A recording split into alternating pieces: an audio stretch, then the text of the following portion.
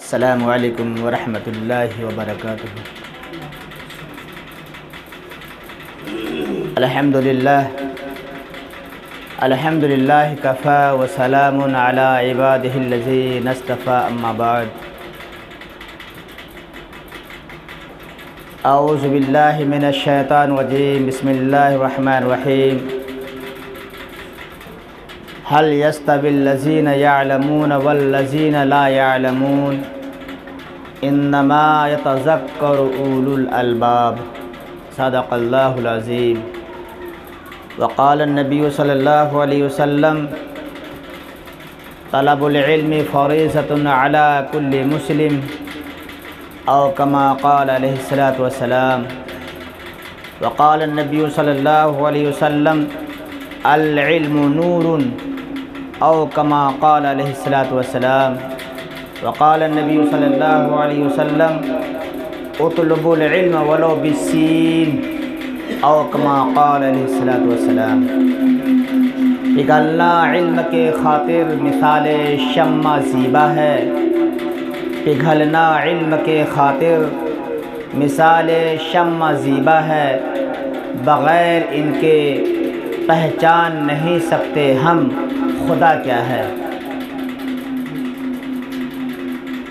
बड़ी खुशी की बात है, सरजमीन काकन, जो एक मशहूर पंचायत है, जो कि बलाक ज़िला अररिया के अंदर, इसी पंचायत के अंदर एक गाँव है काकन, कब्रस्तान मोहल्ला में।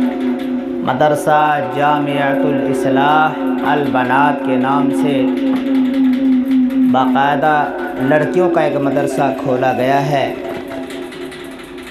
आज अल्हम्दुलिल्लाह हमारे उलमा, हमारे हुफ़ास और हमारे कुर्रा हजरात जगह ब जगह मदारस कायम करके और मकातर तरक्की करते, मगर नहीं, मिन जान बिल्लाह जो ज़िम्मेदारी दी गई, अमानत के साथ, दयानत के साथ अपने तमाम ज़रूरियात को पस पुस्त डालकर अल्लाह के हकाम और हुजूर करम वसल्लम के तरीक़े को पहुँचाने की इन्होंने काफ़ी कोशिश की है।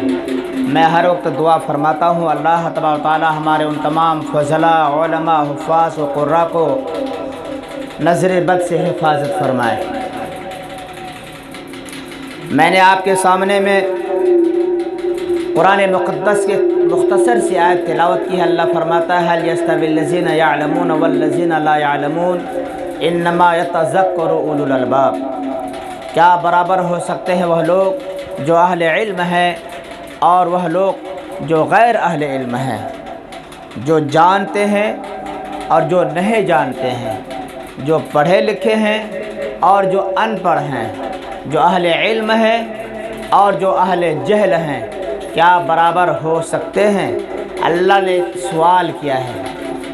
ये सवालिया जुमला है, कुरान कहता है, बराबर हो सकता है। जिस तरीके से आसमान और ज़मीन, जिस तरीके से रोशनी और अंधेरी, जिस तरीके से नशीब फरास बराबर नहीं हो सकते हैं, उसी तरीके से अहल इल्म और गैर अहल इल्म बराबर नहीं हो सकते।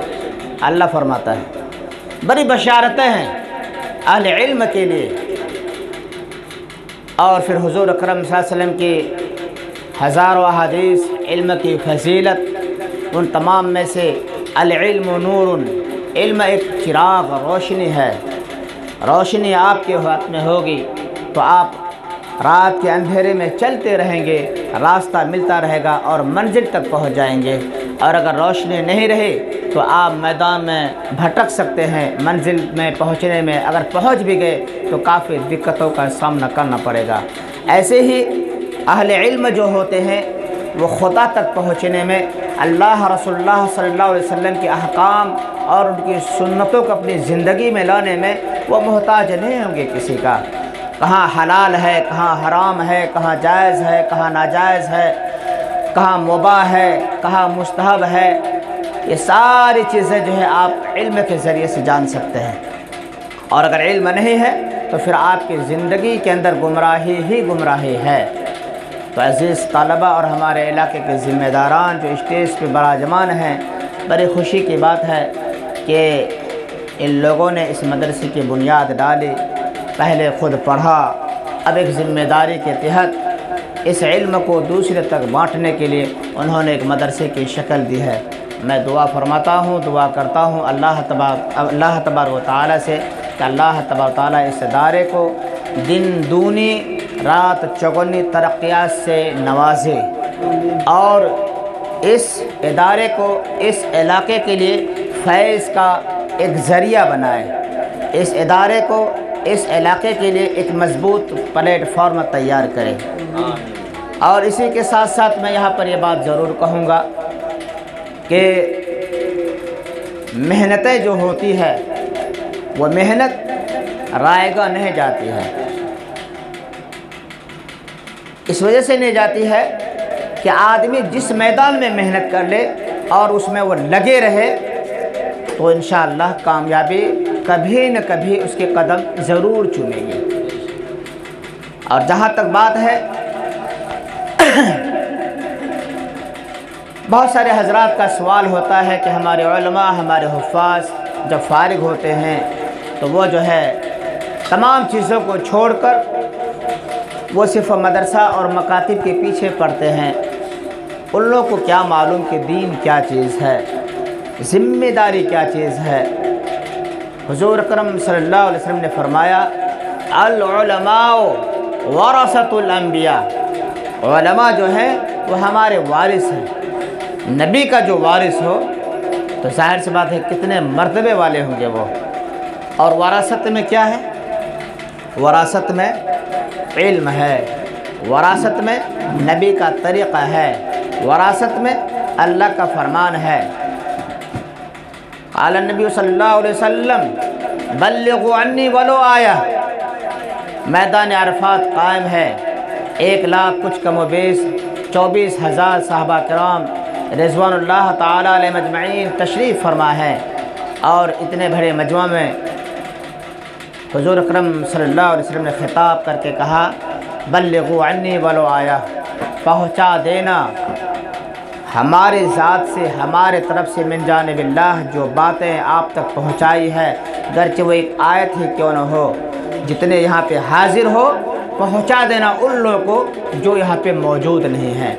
मौरखों ने लिखा है कि मैदान अरफात में जितने भी साहबा कराम रज़ोल्ला तजमैन के सवारी का रुख जिधर थे, वो उधर ही चले गए और दीन की इशात में और दीन को फैलाने में और कलम तोहद को फैलाने में और रसोल्ला की सुन्नत को फैलाने में दावत देते रहे, तालीम देते रहे और जिनकी मौत जहाँ पे आई, वो अल्लाह के प्यारे हो गए और वहीं पे वो मदफन उनका बन गया।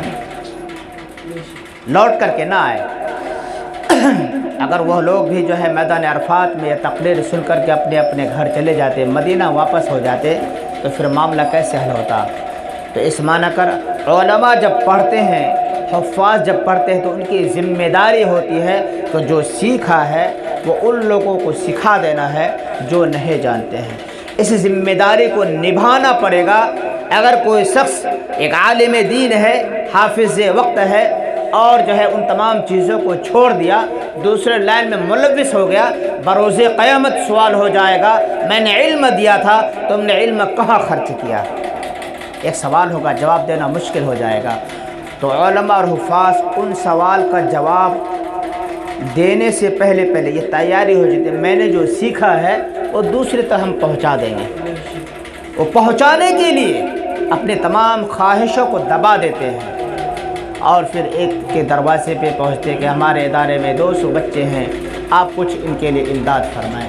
तो चाहिए था अवाम नास को कि ला करके देता, मगर दुआ फरमाए कि हमारा इलाका भी इस जहन का बन जाए।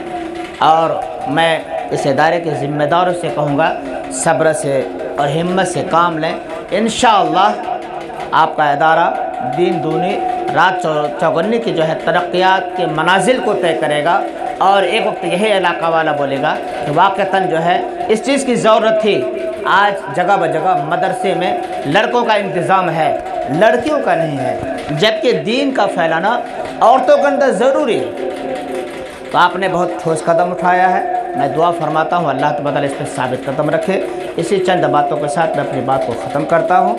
इन हमारे एक साहब और हैं और उसके बाद जो है फिर इस इदारे में जो बच्चे दाखिला ले चुके हैं, आज उम्मीद है, आज है ना, आज इन उम्मीद नहीं इन दर्स शुरू होगा। और यहाँ से जो है तालीम और तालीम का सिलसिला शुरू होगा।